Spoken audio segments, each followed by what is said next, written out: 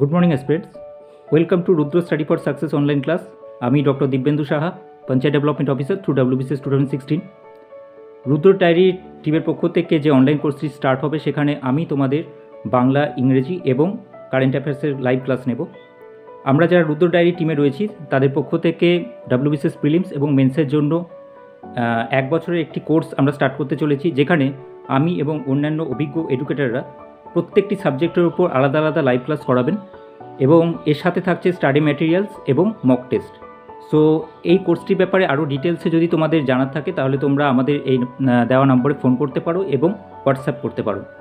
So আজকের এই demo ক্লাসটির মাধ্যমে আমি ডাব্লিউবিসিএস এর সম্পর্কে এ টু জেড আলোচনা করব। অর্থাৎ, তোমরা যারা ডাব্লিউবিসিএস যারা প্রথমবার পরীক্ষায় বসবে এবং যারা ভবিষ্যতে নিজেকে ডাব্লিউবিসিএস অফিসার হিসেবে দেখার স্বপ্ন দেখো তারা, তাদের মনে অনেক ধরনের প্রশ্ন থাকে কোয়ারিজ থাকে যে ডাব্লিউবিসিএস কী ডাব্লিউবিসিএস এক্সামটি কী ধরনের এক্সাম এবং সেই এক্সামের মাধ্যমে যে পোস্টে নিয়োগ হয়, সেই পোস্টগুলো জব প্রোফাইল কীরকম? তার অ্যাকোমোডেশন কীরকম? তার পার্কস অ্যান্ড প্রিভিলেজেস কীরকম? এবং তার প্রমোশনাল স্কোপগুলো কীরকম? ইত্যাদি ইত্যাদি। সো আমি, আমার মনে হয় এই ভিডিওটি তোমরা দেখার পর তোমাদের যা- সেই যাবতীয় কোয়ারিজগুলো মিটে যাবে। এবং যারা যারা প্রথমবার পরীক্ষা দেবে তারা তো অবশ্যই দেখো এবং যারা যারা এই পরীক্ষায় অলরেডি অ্যাপিয়ার করেও গেছো, কিন্তু যাদের মনে অনেক ধরনের প্রশ্ন রয়ে গেছে, আমি সবাইকে রিকোয়েস্ট করব ভিডিওটি দেখার জন্য। এই ভিডিওটি দেখার পর তোমাদের আশা করি আর কোনো কোয়ারিজ থাকবে না। সো লেটস প্রথমে আসব ডব্লিউবিসিএস কি? এই এক্সামটির ফুল ফর্ম যেটা, সেটা হচ্ছে West Bengal civil service executive etcetera exam এই একটি মাত্র এক্সামের মাধ্যমে আমাদের রাজ্য পশ্চিমবঙ্গে যে সর্বোচ্চ প্রশাসনিক পদগুলো রয়েছে বিভিন্ন দপ্তরে, তাতে নিয়োগ হয়ে থাকে এবং West Bengal civil service form সংক্রান্ত তথ্য আমরা কীভাবে পাবো, কোন ওয়েবসাইট থেকে পাবো বা কোন দপ্তর থেকে পারব। আমাদের রাজ্যের যে পাবলিক সার্ভিস কমিশন রয়েছে, তাদের যে অফিসিয়াল ওয়েবসাইটগুলো রয়েছে, যেমন WBPSC dot gov dot in PSC WB application dot in বা PSC WB online dot gov dot in এই সমস্ত ওয়েবসাইট থেকে আমরা ফর্ম সংক্রান্ত তথ্য পেয়ে যাব এবং অ্যাপ্লিকেশন শুধুমাত্র কিন্তু অনলাইনে সাবমিশন করা যেতে পারে। আচ্ছা ফর্ম ফিল আপের ফি কত?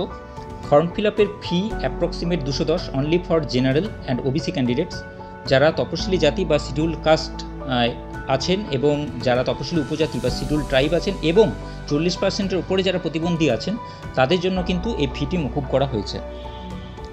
তৃতীয় যে কোশ্চেনটি ডব্লিউবিসিএস পরীক্ষায় আবেদন করার শিক্ষাগত যোগ্যতা কী এবং কোনো নির্দিষ্ট পার্সেন্টেজের প্রয়োজন আছে কিনা? এর উত্তরে জানিয়ে রাখি যে ইউনিভার্সিটি গ্রান্টস কমিশন স্বীকৃত যে কোনো ইউনিভার্সিটির আন্ডারে যে কোনো কলেজের যে কোনো ডিগ্রি গ্র্যাজুয়েশন ডিগ্রি যদি থাকে, তাহলেই সে কিন্তু eligible for appearing in WBCS exam এবং তার সাথে সাথে এটাও জানিয়ে রাখি যে ক্যান্ডিডেটকে কিন্তু বাংলায় লিখতে, পড়তে এবং বলতে জানতে হবে। কিন্তু যাদের মাতৃভাষা নেপালি, তাদের ক্ষেত্রে কিন্তু এই প্রভিশনটি প্রযোজ্য নয়। এবং এটাও জানিয়ে রাখি তার সাথে যে যে কোনো পার্সেন্টেজ পেয়ে পাশ করলেই হবে। অর্থাৎ অনার্স পাওয়া নেসেসারি নয় ফেল করাও হচ্ছে কোনো অবস্ট্রাকশন নয়। যদি কেউ ফেল করে থাকো, সেও এলিজেবল এবং যে, যদি কেউ অনার্স পেয়ে থাকো সে অফকোর্স এলিজেবল সুতরাং এখানে কোনো ক্রাইটেরিয়া নেই পার্সেন্টেজের জাস্ট তোমার ডিগ্রি থাকলেই হলো। এবং তার সাথে সাথে এটাও জানিয়ে রাখি যে অনেকে প্রশ্ন করে যে, স্যার, আমি অমুক ওপেন ইউনিভার্সিটি থেকে গ্র্যাজুয়েশন করেছি আমি কি পরীক্ষায় বসতে পারব? অবশ্যই পারবে যদি সেটা ইউজিসি রিকগনাইজড হয়। তার মানে যে সমস্ত ওপেন, বিখ্যাত ওপেন ইউনিভার্সিটিগুলো আছে, যেমন নেতাজি সুভাষ ওপেন ইউনিভার্সিটি হোক বা ইন্দিরা গান্ধী ওপেন ইউনিভার্সিটি হোক বা অন্যান্য ইউনিভার্সিটি যেগুলো রয়েছে বাইরের স্টেটে, তো সেগুলো যদি ইউজিসি রিকগনাইজড হয়, তোমার কোনো চিন্তা নেই, তুমি অবশ্যই পরীক্ষায় বসতে পারো। এবং এটাও জানিয়ে রাখে যে ফাইনাল ইয়ার স্টুডেন্ট যারা রয়েছে, তারাও কিন্তু এক্সামে অ্যাপিয়ার করতে পারো। হ্যাঁ তারা করতে পারো। এ- শুধুমাত্র প্রবলেমটা হচ্ছে যদি তোমরা ইন্টারভিউয়ের জন্য সিলেক্টেড হও, সেই ইন্টারভিউ বোর্ডে অ্যাপিয়ার করার আগে কিন্তু তোমাকে প্রফেশনাল ডিগ্রি বা ডিগ্রি সার্টিফিকেট কিন্তু প্রডিউস করতে হবে। যদি তুমি প্রডিউস করতে না পারো, তাহলে কিন্তু তুমি ইন্টারভিউয়ে অ্যাপিয়ার করতে পারবে না। আদারওয়াইজ তুমি কিন্তু প্রিলিমস এবং মেন্স পরীক্ষায় বসতেই পারো। সো নেক্সট যে কোশ্চেন এই পরীক্ষার জন্য বয়সসীমা কত? আর এসসি এসটি ওবিসিদের ক্ষেত্রে কি এই সীমার কোনো পরিবর্তন করা হয়ে থাকে কিনা? আচ্ছা গ্রুপ এ এবং গ্রুপ সি যে সার্ভিসগুলো রয়েছে তার জন্য বয়সসীমা হচ্ছে একুশ থেকে ছত্রিশ বছর বয়স। গ্রুপ বি সার্ভিসের আন্ডারে একটি পোস্ট রয়েছে যেটা deputy superintendent of police under West Bengal police service তার জন্য বয়সসীমা রয়েছে কুড়ি থেকে ছত্রিশ বছর বয়স এবং গ্রুপ ডি যে পোস্টগুলো রয়েছে তার জন্য বয়সসীমা হচ্ছে একুশ থেকে উনচল্লিশ বছর বয়স এবং এই বয়সসীমাটি শুধুমাত্র জেনারেল ক্যান্ডিডেটদের জন্য। এসসি এবং এসটির সম্প্রদায়ভুক্ত যারা আছেন তাদের জন্য কিন্তু পাঁচ বছরের ছাড় দেওয়া হয়েছে। এবং যারা ওবিসি ক্যান্ডিডেট রয়েছেন, তাদের জন্য কিন্তু আরও তিন বছরের ছাড় দেওয়া হয়েছে। এবং যারা, তার সাথে সাথে যারা প্রতিবন্ধী আছেন চল্লিশ পার্সেন্টের উপরে প্রতিবন্ধী, তারা কিন্তু পঁয়তাল্লিশ বছর বয়স অবধি এক্সামে অ্যাপিয়ার করতে পারেন। এবং এটাও জানিয়ে রাখি তার সাথে সাথে যে ইউপিএসসিতে যেরকম অ্যাপিয়ারেন্সের এক্সামে অ্যাপিয়ার করার একটা লিমিট রয়েছে, এখানে কিন্তু অ্যাজ সাচ সেরকম কোনো লিমিট নেই। অর্থাৎ যতক্ষণ না তোমার আপারেজ লিমিট অবধি তোমার বয়স পৌঁছে যাচ্ছে, ততদিন অবধি তুমি অসংখ্যবার এক্সামে বসতে পারো, সেখানে কিন্তু কোনো সংখ্যার ব্যাপার নেই। নেক্সট কোশ্চেনে চলে আসব। এই পরীক্ষাটি কটি পর্যায়ে হয়? মূলত তিনটি পর্যায় আছে। প্রথম দুটি পর্যায় হচ্ছে রিটেন এক্সাম এবং থার্ড যে পর্যায় লাস্ট যে পর্যায়, সেটা হচ্ছে পার্সোনালিটি টেস্ট প্রথম দুটি পর্যায়ের মধ্যে একদম প্রথম ধাপ যেটা, সেটা হচ্ছে প্রিলিমিনারি প্রিলিমিনারি এক্সামিনেশন যেটা পুরোপুরি প্যাটার্নটা হচ্ছে এমসিকিউ টাইপ এরপরে আসে মেন এক্সামিনেশন যেটা এমসিকিউ টাইপ এবং কনভেনশনাল টাইপ বোথ মিক্সড আছে। এবং লাস্ট যেটা আছে, সেটা হচ্ছে পার্সোনালিটি টেস্ট সো কোনো ক্যান্ডিডেট যখন প্রিলিমিনারি এক্সামে কোয়ালিফাই করবে, তখন সে মেন্সের জন্য অ্যাপিয়ার করবে এবং সে যদি মেন্সেও কোয়ালিফাই করে যায় ফর ইন্টারভিউ তখন সে ইন্টারভিউ গিয়ে অ্যাপিয়ার করবে এবং লাস্টে হবে ইন্টারভিউ এবং সেই পার্সোনালিটি টেস্টে সে যদি সিলেক্টেড হয়ে যায় টোটাল তিনটে যে স্টেজ রয়েছে সেই মার্কসগুলো মিলে তাহলে কিন্তু সে আলটিমেটলি সিলেক্টেড হবে। আচ্ছা প্রথম পর্যায়ে কোন সময় হয়? মোট কত নম্বরের হয় এবং রেজাল্ট সাধারণত কতদিন পর বের হয়? অ্যাকচুয়ালি প্রিলিমিনারি যে এক্সাম সেটা কিন্তু জানুয়ারি থেকে ফেব্রুয়ারি মাসেই কিন্তু অনুষ্ঠিত হতো, এতদিনের ট্রেন্ড অনুযায়ী। কিন্তু এটি কোনো শিওর শট নয়, কারণ পরিস্থিতি অনুযায়ী এর চেঞ্জ হতেই পারে এবং যেটা হয় যে প্রিলিমিনারি এক্সাম যেটা রয়েছে সেটা কিন্তু মোস্টলি দুশোটা কোশ্চেনের একটা পেপার হয় এবং দুশোটা কোশ্চেনের প্রত্যেকটিতেই কিন্তু এক, প্রত্যেকটা কোশ্চেনের জন্য এক মার্কস থাকে এবং তার জন্য টাইম দেওয়া থাকে টু আওয়ার্স থার্টি মিনিটস অর্থাৎ আড়াই ঘণ্টা। এবং প্রত্যেকটা মার্কসের জন্য প্রত্যেকটা নেগেটিভ মার্কসের জন্য মানে কিন্তু ওয়ান থার্ড নম্বর কাটা যায়। অর্থাৎ প্রত্যেকটা তিনটে কোশ্চেন যদি ভুল করো, তাহলে সেক্ষেত্রে কিন্তু তোমার এক মার্ক কাটা যাবে। প্রিলিমিনারি পরীক্ষার প্রশ্নের ধরন কেমন হয় এবং কোন কোন বিষয় থেকে প্রশ্ন আসে? প্রিলিমিনারি পরীক্ষায় যে দুশোটি মাল্টিপল চয়েস প্রশ্ন আসে, প্রত্যেকটির পূর্ণমান এক নম্বর যেটা আমি আগে বললাম, এবং মোট আটটি টপিক বা আটটি বিষয় থেকে পঁচিশটা করে প্রশ্ন আসবে। টপিকগুলি কী কী আমরা দেখে নেব? ইংলিশ কম্পোজিশন থেকে। অ্যাকচুয়ালি এখানে ঠিক ইংলিশ কম্পোজিশন না। ইংলিশ কম্পোজিশন বলতে এখানে বোঝানো হয়েছে যে ইংলিশের যে গ্রামার যে পোর্শনটা রয়েছে, যে ভোকাবুলারি পোর্শনটা রয়েছে, সেখান থেকে আসে। সেকেন্ড হচ্ছে জেনারেল সায়েন্স অর্থাৎ ফিজিক্স কেমিস্ট্রি বায়োলজি এবং এনভায়রনমেন্ট রিলেটেড থার্ড হচ্ছে current events of national and international importance অর্থাৎ জাতীয় এবং আন্তর্জাতিক স্তরের যে কারেন্ট যে ইভেন্টসগুলো রয়েছে কারেন্ট অ্যাফেয়ার্স রয়েছে সেখান থেকে। চার নম্বর হচ্ছে হিস্ট্রি অফ ইন্ডিয়া অর্থাৎ ভারতের ইতিহাস both ancient medieval and modern fifth যেটা রয়েছে geography of India with special reference to West Bengal অর্থাৎ ভারতের ভূগোল এবং তাতেও ওয়েস্ট বেঙ্গলের ওপর স্পেশাল ফোকাস দেওয়া হবে। সিক্স যেটা রয়েছে topic India polity and economy অর্থাৎ ভারতের সংবিধান এবং অর্থনীতি। সপ্তম যে টপিকটি রয়েছে সেটা হচ্ছে ইন্ডিয়ান ন্যাশনাল মুভমেন্ট অর্থাৎ ইন্ডিয়ার ফ্রিডম যে স্ট্রাগল রয়েছে সেটার উপরে। এবং এইথ যেটা রয়েছে সেটা হচ্ছে জেনারেল মেন্টাল অ্যাবিলিটি অর্থাৎ সাধারণ মানসিক যে দক্ষতা, অর্থাৎ যে জিআই এবং ম্যাথ রিলেটেড এরপরে প্রশ্ন নেগেটিভ মার্কিং কি হয়? আমি যেটা আগেই বলেছি, প্রত্যেকটি তিনটি ভুল উত্তরের জন্য এক নম্বর করে কটা যাবে। অর্থাৎ প্রত্যেক এক মার্ক প্রত্যেক একটি কোশ্চেনে ওয়ান থার্ড করে নেগেটিভ মার্ক রয়েছে। কাট অফ সাধারণত কত থাকে এবং এবারের কাট অফ কত? দেখো, এতদিন ধরে কিন্তু মানে দু হাজার উনিশের ফিলিমসের রেজাল্ট সরি দু হাজার কুড়ির ফিলিমসের রেজাল্ট প্রকাশিত হওয়ার আগে এই কাট অফের সাধারণত একটা ধারণা ছিল যে একশো দশ থেকে একশো পনেরোর মধ্যে পেলেই তুমি সেফ জোনে থাকবে। কিন্তু আমি বলব অ্যাজ অ্যান অ্যাসপিরেন্ট তোমার কিন্তু কখনোই একটা প্রি ডিটারমাইন্ড কাট অফ তোমার মনে রাখা উচিত না। কারণ কাট অফ তোমরা জানো দু হাজার কুড়ির যে ফিলিমসের রেজাল্ট বেরিয়েছে সম্প্রতি, তার কাট অফ কিন্তু অনেক অনেক অনেক বেশি গেছে। অর্থাৎ একশো সাতাশ হয়েছে কাট অফ সো এই পরিমাণ কাট অফ যদি পেতে হয়, তাহলে কিন্তু তোমাকে ধরে রাখতে হবে যে তোমাকে তোমার এক্সামে তোমার যে বেস্ট এবিলিটি আছে, সেই বেস্ট এবিলিটিটাকেই তোমাকে কিন্তু দিতে হবে। অর্থাৎ কোনো শিওর শট নেই কাট অফের যেটা এতদিন ধরে ট্রেন্ড আসছিল, সেই ট্রেন্ড কিন্তু ভেঙে গেছে। সুতরাং আমি বলব না যে কোনো নির্দিষ্ট কাট অফ সেফ জোনে থাকার জন্য যথেষ্ট। কারণ কাট অফের কোনো রিলায়েবিলিটি নেই। কাট অফ ভ্যারি করছে প্রত্যেক বছরের ভ্যাকান্সি কীরকম হচ্ছে, প্রত্যেক বছরের কোশ্চেনের কোয়ালিটি কীরকম হচ্ছে তার উপর।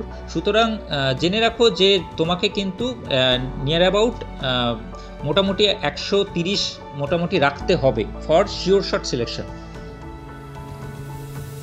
main পরীক্ষায় কটি পেপার থাকে এবং মোট নাম্বার কত হয় প্রত্যেকটা পেপারে মেন পরীক্ষা যেটা হয়, সেখানে কিন্তু টোটাল ছটা কম্পালসারি পেপার থাকে এবং একটি অপশনাল সাবজেক্টের উপর দুটো পেপার থাকে, অর্থাৎ টোটাল কিন্তু আটটা পেপারে পরীক্ষা দিতে হয়।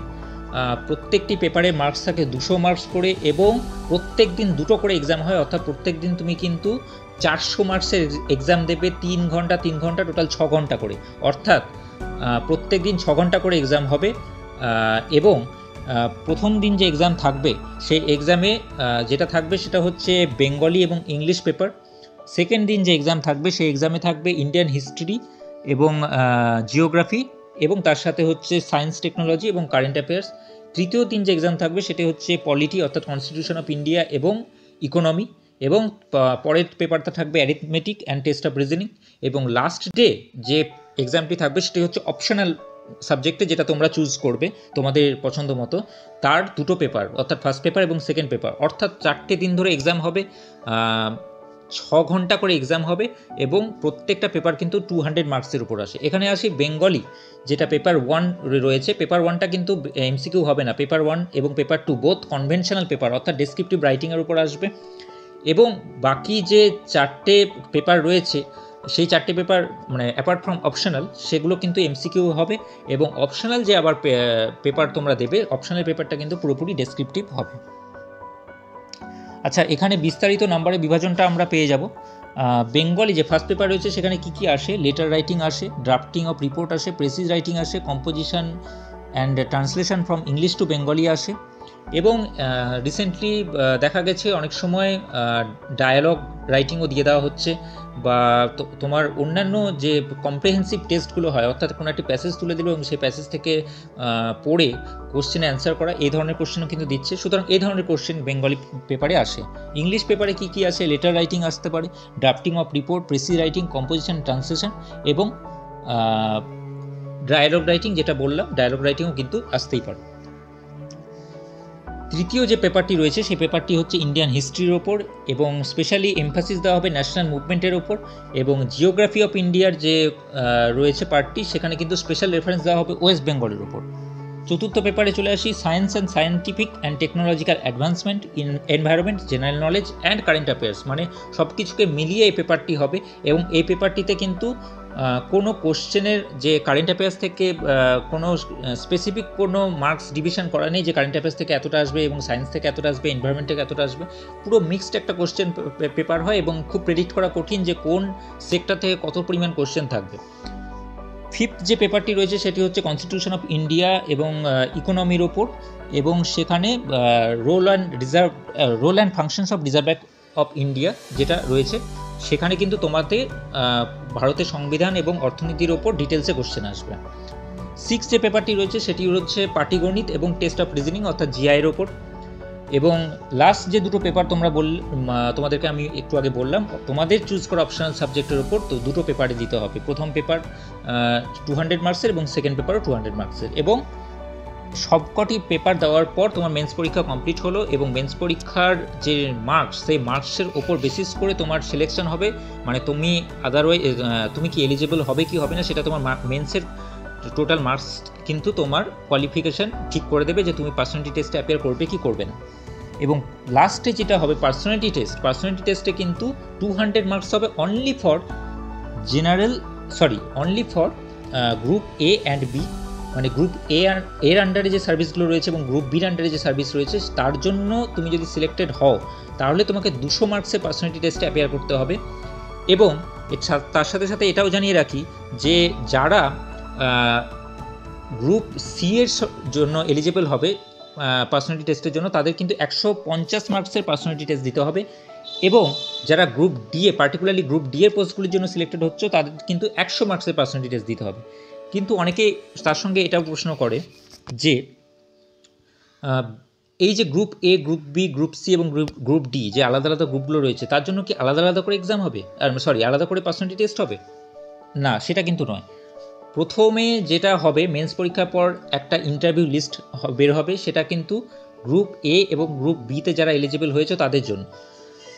সেই ইন্টারভিউতে যারা অ্যাপিয়ার করবে, তারা গ্রুপ এ এবং বিতে যারা কোয়ালিফাই করবে, তারা কোয়ালিফাই করে গেল। যারা কোয়ালিফাই করল না, তারা কিন্তু অটোমেটিকলি অটোমেটিক্যালি গ্রুপ সি এবং গ্রুপ ডি এর জন্য বিবেচ্য হবে। অর্থাৎ যারা একবার পার্সোনালিটি টেস্ট দিয়ে ফেলেছো, তাদের কিন্তু আর সেকেন্ডবার পার্সোনালিটি টেস্ট দেওয়ার কোনো দরকার নেই। অর্থাৎ প্রত্যেকে প্রত্যেকটি কোয়ালিফাইড ক্যান্ডিডেটের জন্য কিন্তু একবারই পার্সোনালিটি টেস্ট হবে এবং সেই পার্সোনালিটি টেস্টের মার্কসের উপর বেসিস করেই কিন্তু তারা পরের গ্রুপ সি বা গ্রুপ ডি যে পার্সোনালিটি টেস্টের মার্কস সেই মার্কস থেকেই কিন্তু ধরে নেওয়া হবে। অর্থাৎ ধরো, আমি গ্রুপ এ এবং গ্রুপ বির জন্য সিলেক্টেড হলাম এবছর।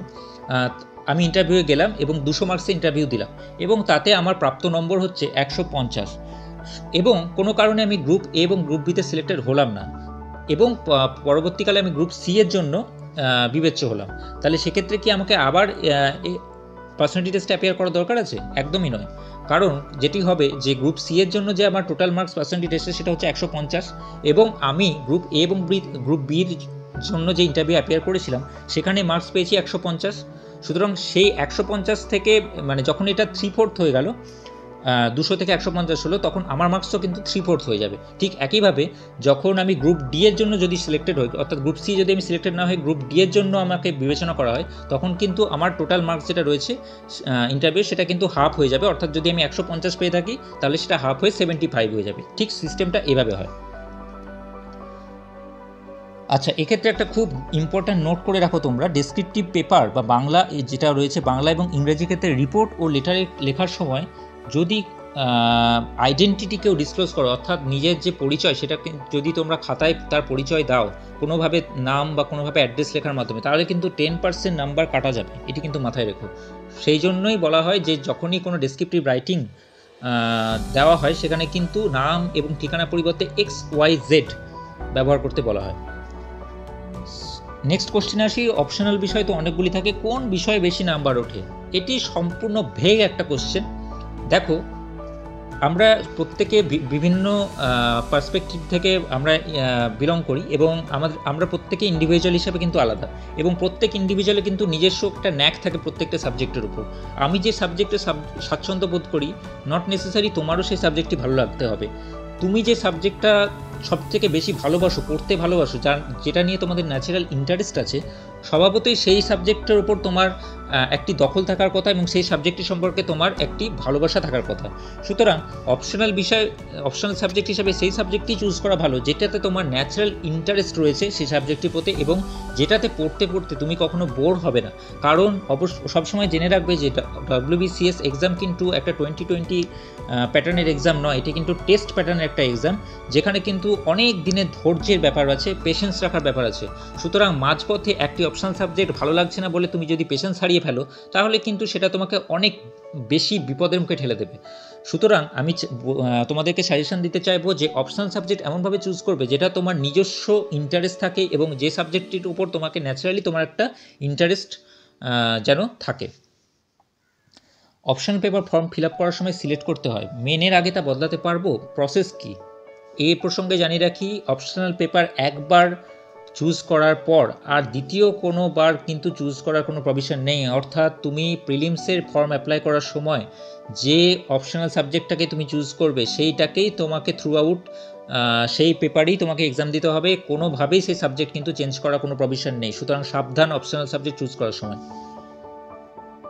মেনের ক্ষেত্রে প্রত্যেকটা পেপারে কোয়ালিফাইং মার্কস দরকার না টোটালের উপর কোয়ালিফাইং মার্কস দরকার?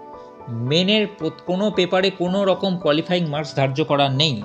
তোমরা যদি পিএসসি নোটিফিকেশনটা ভালোভাবে পড়ে থাকো, তাহলে তোমরা সেখানে দেখতে পাবে যে এরকম কোথাও বলা নেই যে মেনের প্রত্যেকটা পেপারে এত পার্সেন্ট মার্কস দরকার হলে তবেই তারা কোয়ালিফাই করতে পারবে আদারওয়াইজ পারবে না।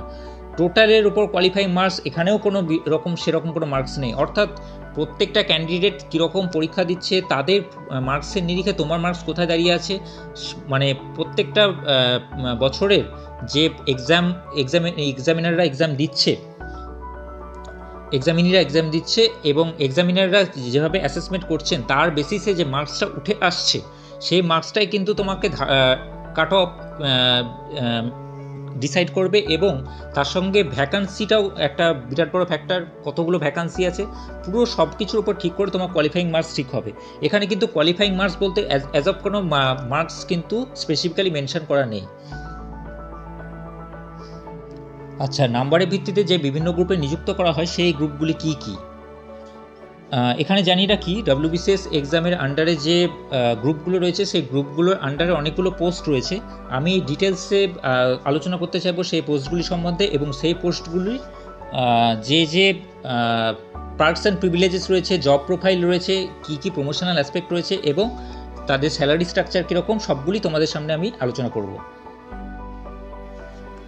প্রথমেই যে সার্ভিসটি রয়েছে গ্রুপের আন্ডারে, সেটা হচ্ছে West Bengal civil service executive যেটা আমরা ডাব্লিউবিসিএস ডাব্লিউবিসিএস এক্সিকিউটিভ বলে জানি। প্রথমে জানিয়ে রাখি যে গ্রুপ এ এবং গ্রুপ বি যে দুটো গ্রুপ রয়েছে, তার স্যালারি স্ট্রাকচার কিন্তু সেম অর্থাৎ বর্তমান যে পে স্কেল রয়েছে এবং বর্তমান যে রোপা টু রয়েছে, সেই অনুসারে লেভেল সিক্সটিন যেটা রয়েছে পিবি ফোর এ তার সেই অনুযায়ী তোমাদের এই গ্রুপ এ এবং গ্রুপ বির আন্ডারে যতগুলো পোস্ট রয়েছে, তার স্টার্টিং স্যালারি মানে গ্রস স্যালারি কিন্তু নিয়ার অ্যাবাউট সিক্সটি থ্রি থাউজেন্ডের মতো অর্থাৎ- তেষট্টি হাজার মতো।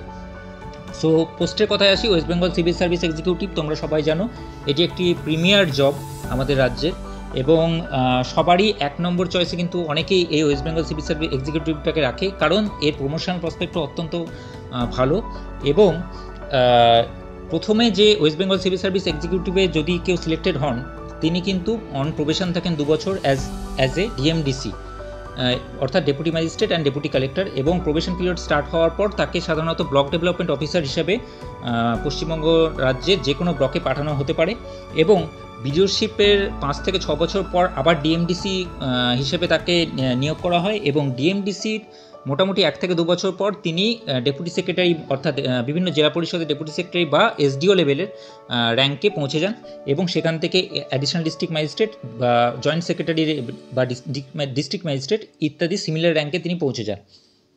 এবং তারপরেও যদি কারোর এজ থাকে, অর্থাৎ কারোর যদি সার্ভিস টেনিও থাকে, তাহলে কিন্তু তিনি ডেপুটি সেক্রেটারি, জয়েন্ট সেক্রেটারি এবং সেক্রেটারি অবধি পৌঁছতে পারেন। এবং এই সার্ভিসের বিশেষত্ব হচ্ছে মোটামুটি পঁচিশ থেকে ছাব্বিশ বছর পর কিন্তু এই সার্ভিস থেকে আইএসের জন্য রিকমেন্ডেশন পাওয়া যায়। অর্থাৎ তিনি কিন্তু ইন্ডিয়ান অ্যাডমিনিস্ট্রেটিভ সার্ভিসেরও পার্ট হতে পারেন ভবিষ্যতে। নেক্সট যে সার্ভিসটি রয়েছে, সেটি হচ্ছে অ্যাসিস্ট্যান্ট কমিশনার অফ রেভিনিউ এটিকে অ্যাকচুয়ালি ওয়েস্ট বেঙ্গল রেভিনিউ সার্ভিসের অন্তর্গত। এই পোস্টটিও অ্যাকচুয়ালি একই সেম স্ট্রাকচার অফ স্যালারি রয়েছে এক্সিকিউটিভের মতোই। এবং এই পোস্টটিতে এন্ট্রি পোস্ট হিসেবে কিন্তু অ্যাসিস্ট্যান্ট কমিশনার অফ রেভিনিউ হিসেবে নিযুক্ত হন এবং তার পরবর্তী প্রমোশনে ডেপুটি কমিশনার অফ রেভিনিউ তার পরবর্তী প্রমোশনে জয়েন্ট কমিশনার অফ রেভিনিউ এবং সিনিয়র জয়েন্ট কমিশনার অফ রেভিনিউর পর অ্যাডিশনাল কমিশনার অফ রেভিনিউ অবধি পৌঁছতে পারেন।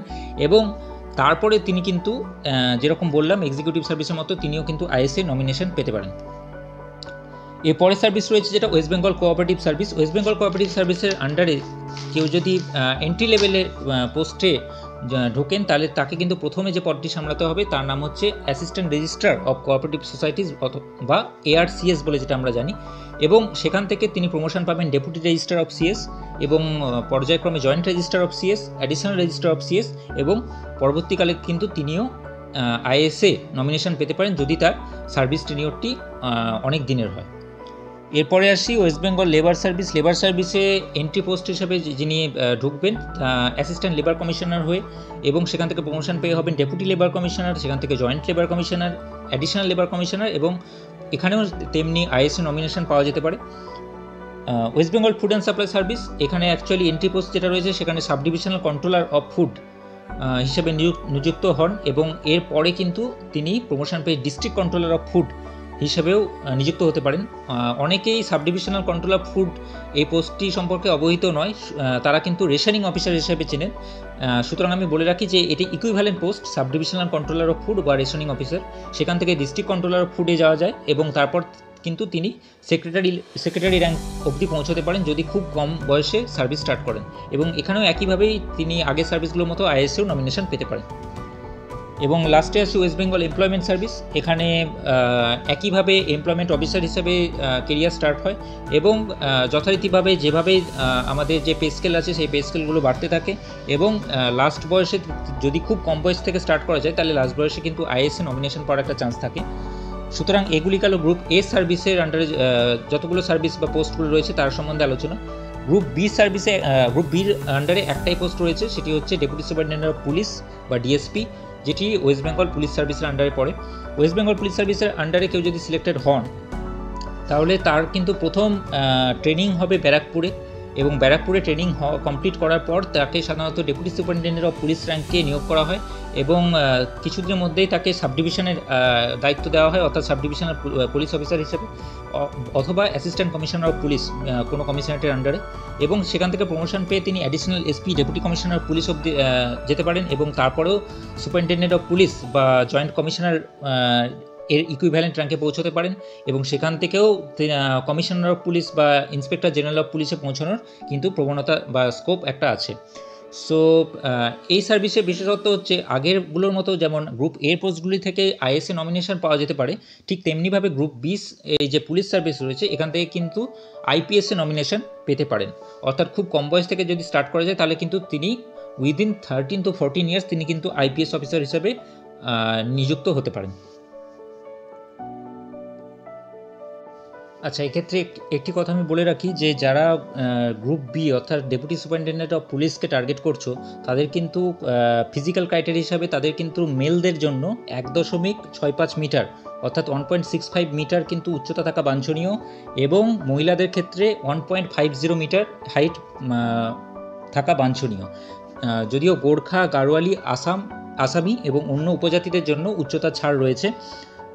এবং আবেদন যখন করবে, তখন কিন্তু ফর্মে উচ্চতাটি অবশ্যই মেনশন করে দিতে হবে। এরপরের পোস্টগুলি গ্রুপ সির আন্ডারে গ্রুপ সি আন্ডারে তিন ধরনের পোস্ট আছে।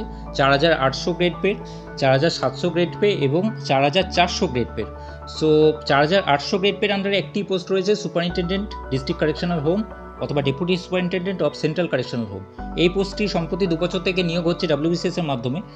এই পোস্টে গ্রস স্যালারি যেটা ইন হ্যান্ড বর্তমানে, সেটি অ্যারাউন্ড ওই forty eight thousand two hundred মতো, অর্থাৎ আটচল্লিশ হাজার। এবং এই পোস্টের যে জব প্রোফাইল সেটি হচ্ছে যে যে আমাদের যে বিভিন্ন রাজ্য এবং কেন্দ্রীয় সংশোধনাগারগুলো রয়েছে, সেই সংশোধনাগারগুলির যে কারাগার, অর্থাৎ কারাগারগুলি রয়েছে সেই সংশোধনাগার বা কারাগারে যাবতীয় দেখভাল এবং নিরাপত্তা দায়িত্বটা কিন্তু তাদেরকে সামলাতে হয় এবং এই সার্ভিসে একটি বিশেষত্ব হচ্ছে এটি কিন্তু পুলিশ সার্ভিসের মতো একটি ইউনিফর্ম সার্ভিস। অর্থাৎ এই ইউনিফর্ম পরে তোমাকে এই সার্ভিসের ডিউটি পালন করতে হবে এবং তার সাথে সাথে এই সার্ভিসে কিন্তু ছুটিও অত্যন্ত কম পাওয়া যায় এবং যেহেতু এই সার্ভিসের আন্ডারে যারা থাকেন তাদেরকে একটু শারীরিক সক্ষম হতে হবে অর্থাৎ ক্রিমিনালদের সঙ্গে ডিল করার একটা টেন্ডেন্সি রাখতে হবে। অর্থাৎ স্বভাবতই এটি একটি যথেষ্ট মেন্টালি টাফ বলা যায় এই জবটিকে এটি যথারীতি কিন্তু আমাদের ডেস্ক জবের মতো নয়। সুতরাং সব সব কিছু মাথায় রেখে তোমরা এই জবটিকে তোমাদের প্রেফারেন্স শিটে রাখবে এবং এর অনেক সুবিধাও রয়েছে। যেমন এই সার্ভিসে যে স্যালারি আমরা অন্যান্য সার্ভিসে যে বারো মাসের স্যালারি পেয়ে থাকি এক বছরে, এই সার্ভিসে কিন্তু তেরো মাসের স্যালারি অর্থাৎ এক মাসের স্যালারি এক্সট্রা দেওয়া হয়। আচ্ছা নেক্সট যে পোস্টটি রয়েছে, সেটা হচ্ছে জয়েন্ট ব্লক ডেভেলপমেন্ট অফিসার তোমরা সবাই জানো। এটির গ্রেড পে চার হাজার সাতশো, অর্থাৎ গ্রস স্যালারি যেটা, সেটা কিন্তু অ্যারাউন্ড ফর্টি ফাইভ থাউজেন্ড বর্তমানে জয়েন্ট ব্লক ডেভেলপমেন্ট অফিসার প্রত্যেকটি বিডিও অফিসেই নিয়ারাবোর্ড থেকে থাকে জয়েন্ট ব্লক ডেভেলপমেন্ট অফিসার তারা কিন্তু প্রত্যেকটি ব্লক অফিসে একটি গুরুত্বপূর্ণ ভূমিকা পালন করেন। বিভিন্ন কাজ যেমন Mahatma Gandhi national rural employment guarantee act থেকে শুরু করে, ইলেকশন থেকে শুরু করে, বিভিন্ন ধরনের পশ্চিমবঙ্গ সরকারের যে প্রকল্পগুলি রয়েছে, সেই প্রকল্পগুলি কিন্তু নোডাল অফিসার হিসেবে কিন্তু জয়েন্ট ব্লক ডেভেলপমেন্ট অফিসার থাকেন এবং এছাড়াও অ্যাডিশনাল যে ব্লক ডেভেলপমেন্ট অফিসার যে সমস্ত চার্জ দেন, সেগুলি তাদেরকে পালন করতে হয় এবং in case of any absence of block development officer অর্থাৎ ব্লক ডেভেলপমেন্ট অফিসার যদি কোনো ব্লকে যদি অনুপস্থিত থাকে, তাহলে, থাকেন, তাহলে কিন্তু তার জায়গায় জয়েন্ট ব্লক ডেভেলপমেন্ট অফিসারকে বিডিও হিসেবে কিন্তু কার্যভার সামলাতে হয়। সো এরপরের পোস্টে আসি deputy assistant director of consumer affairs and fair business practice এটি সম্প্রতি ডব্লিউবিসির ডব্লিউবিসিএস এক্সামের মাধ্যমে নিয়োগ হচ্ছে। এটিরও grade pay joint block development অফিসারের সমান। এবং এই দপ্তরটি হচ্ছে ক্রেতা সুরক্ষা দপ্তরের অধীনে এবং এখানে কিন্তু ক্রেতাদের বিভিন্ন অভিযোগ এবং তাদের যে বিভিন্ন কেসেসগুলো তারা ফাইল করে, তাদের সঙ্গে সেই সম্বন্ধে ডিল করতে হয় এবং তাদের যে বিভিন্ন গ্রিভ্যান্সগুলো আছে, সেগুলো কিন্তু এখানে কিন্তু ডিল করতে হয়। West Bengal junior social welfare service যেটি রয়েছে, সেটি হচ্ছে যেটা আমরা সবাই জানি, ব্লকে সিডিপিও সাহেব যারা থাকেন চাইল্ড ডেভেলপমেন্ট প্রজেক্ট অফিসার হিসেবে। সো এই সার্ভিসের মাধ্যমে সিডিপিও পোস্টে নিয়োগ হয় এবং সিডিপিও পোস্টটি যথেষ্ট খুব সম্মানজনক একটি পোস্ট কারণ সিডিপিও পোস্টের মাধ্যমে আমরা যে আইসিডিএস সেন্টার আছে এবং অঙ্গনওয়াড়ি সেন্টারগুলো আছে, সেই সেন্টারের তত্ত্বাবধান করা হয় এবং শিশু এবং মায়েদের যে নিউট্রিশনাল যে কোয়ালিটি অ্যাসেসমেন্ট, সেগুলোর পুরোটার দায়িত্ব কিন্তু এই সিডিপিওদের ওপরেই থাকে। এবং তার সাথে সাথে অন্যান্য যে স্কিমগুলো রয়েছে পশ্চিমবঙ্গ সরকারের, সেই স্কিমগুলো কিন্তু তত্ত্বাবধান করে থাকেন। এবং এই সিডিপিও থেকে যদিও প্রমোশনালের প্রসপেক্টটা খুব সুগম নয় তবুও মোটামুটি ষোলো থেকে সতেরো বছর পর ডিস্ট্রিক্ট প্রজেক্ট অফিসার হিসেবে কিন্তু তারা প্রমোটেড হন। এরপরে আসি West Bengal subordinate land revenue service grade one যেটা ডব্লিউবি এসএল এসএলআরএস সার্ভিস বলা হয়। এই সার্ভিসের আন্ডারে যে প্রথম পোস্টটি যারা এন্ট্রি পোস্ট হিসেবে যারা প্রবেশ করেন রেভিনিউ অফিসার হিসেবে বিভিন্ন ব্লকে পোস্টিং হয় এবং রেভিনিউ অফিসার হিসেবে তাদেরকে বিভিন্ন কাজ করতে হয়। যেমন মিউটেশন রয়েছে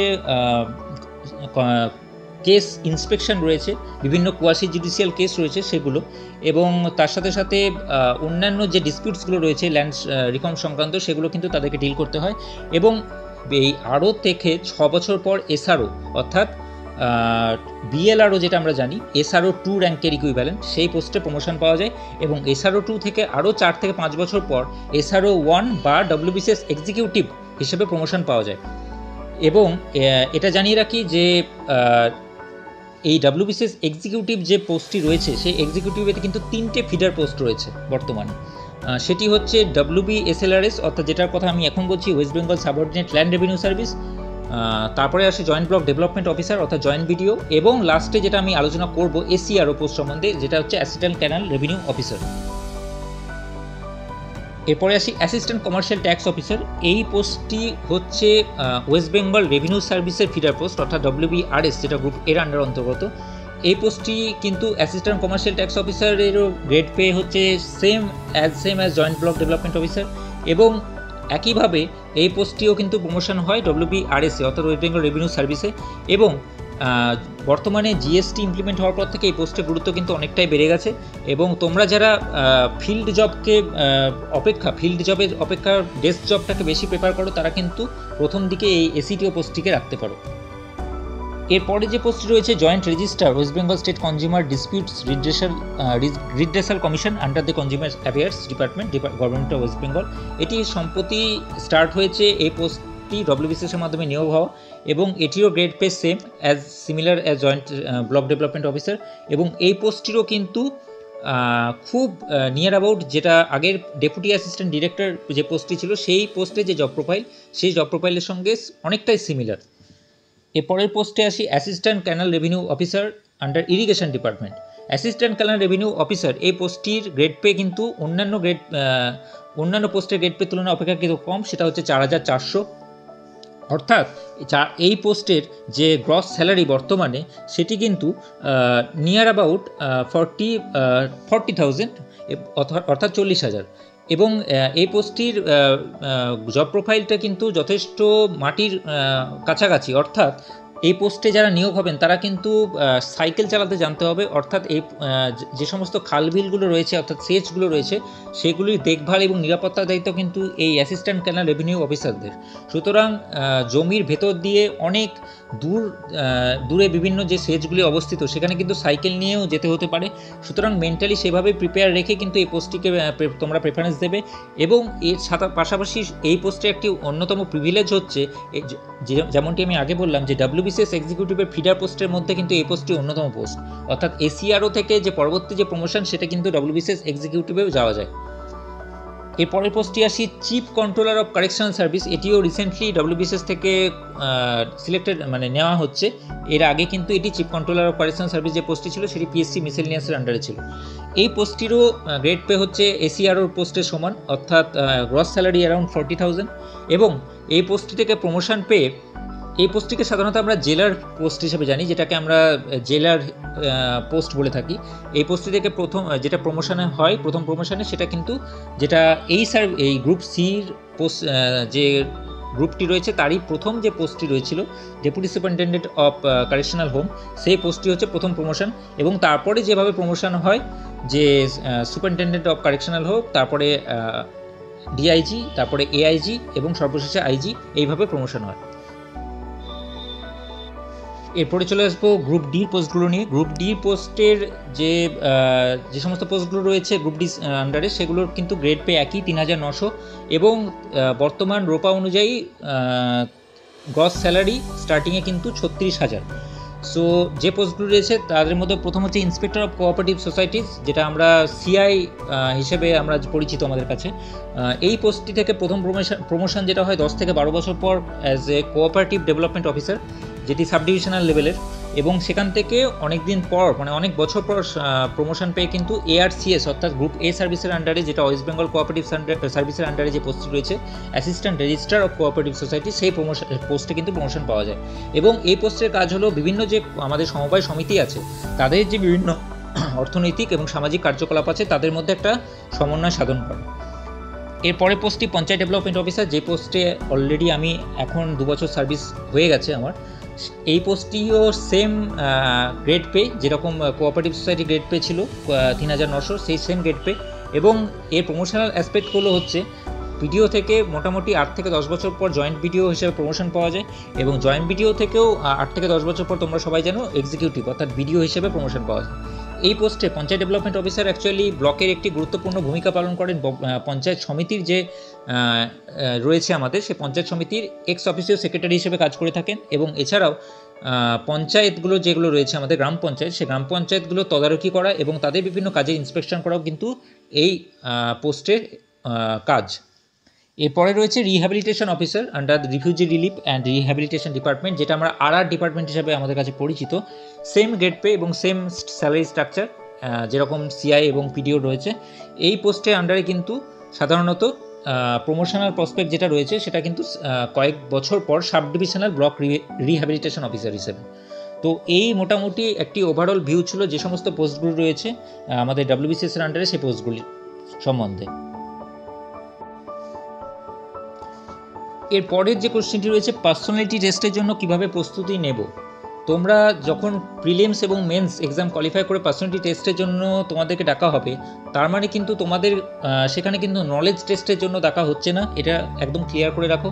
সেখানে তোমাদেরকে হয়তো জেনারেল নলেজ থেকে অনেকগুলো কোশ্চেন করা হতে পারে, কিন্তু তার মানে এই না যে তোমরা যে কোশ্চেনটা অ্যান্সার দিয়ে দিলে বা ভুল দিলে, তার জন্য কিন্তু তোমাদের কোনো মার্কস কাটা যাবে, এরকম কিছু না।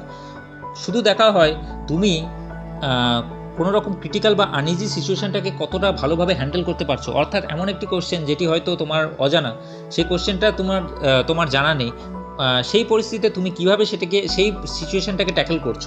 অর্থাৎ তোমার লিডারশিপ কোয়ালিটি তোমার মোরাল অ্যান্ড ইন্টেলেকচুয়াল ইন্টিগ্রিটি এবং তোমার অ্যালার্টনেস এবং চারপাশের যে বিভিন্ন ঘটনাক্রমগুলো ঘটছে, তার সম্পর্কে তোমার যে ওভারঅল একটা ওপিনিয়ন এবং তোমার যে কনসেপ্ট সেটা কিন্তু জাজ করা হয়। এবং যথারীতি যেরকম আমি আগে বললাম যে গ্রুপ এ অ্যান্ড বির আন্ডারে যে পোস্টগুলো রয়েছে, তার জন্য টোটাল টু হান্ড্রেড মার্কসের পার্সেন্টেজ টেস্ট হয়। গ্রুপ সির আন্ডারে দেড়শো মার্কসের পার্সেন্টেজ টেস্ট দিতে হয় এবং গ্রুপ ডির আন্ডারে হান্ড্রেড মার্কসের পার্সেন্টেজ টেস্ট দিতে হয়। এবং সর্বশেষ কোশ্চেন যেটা যেটা তোমরা অনেকেই জিজ্ঞেস করে থাকো ডাব্লিউবিসিএস এক্সামের জন্য মক টেস্ট কতটা প্রয়োজনীয়? এটা কোনো বলার অপেক্ষা রাখে না যে মক টেস্ট একটি নিঃসন্দেহে খুব গুরুত্বপূর্ণ একটা পার্ট তোমাদের প্রিপারেশনের একটা পার্ট বলতে পারো। কারণ যত বেশি মক টেস্ট তোমরা দেবে, যত বেশি নিজেকে ইভ্যালুয়েট করবে, ততই তোমরা কনফিডেন্ট হবে এবং তত বেশি তোমাদের নিজেকে ইমপ্রুভ করতে পারবে। এবং এর সাথে সাথে এটাও জেনে রাখা দরকার যে সব মক টেস্টের কোয়ালিটি কিন্তু সমান নয়। বাজার চলতি যে কোনো মক টেস্টের কিন্তু সব যে কোশ্চেনের কোয়ালিটি কিন্তু সব জায়গায় সমান থাকে না।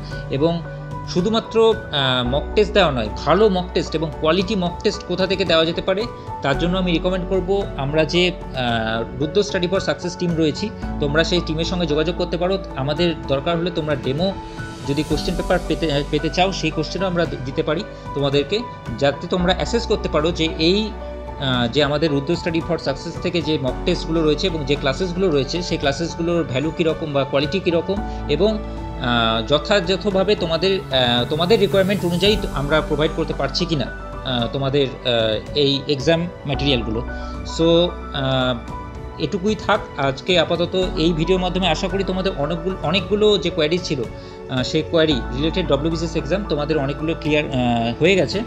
সো এরপরে আমি চাইব যে তোমাদের যদি আলাদা কোনো কোয়ারি থাকে, এর ওপরেও যদি কোনো আলাদা কোনো কোয়ারি বা জানার কোনো জিজ্ঞাসা বিষয় থাকে, তোমরা কমেন্ট সেকশানে অবশ্যই জানিও। এবং তার সাথে সাথে যদি কোনো এই কোর্স রিলেটেড কোনো আরও কিছু জানতে চাও, তোমরা এই নিচে দেওয়া যোগাযোগ নম্বরে তোমরা ফোন করতে পারো এবং হোয়াটসঅ্যাপও করতে পারো। So thank you for watching this video thank you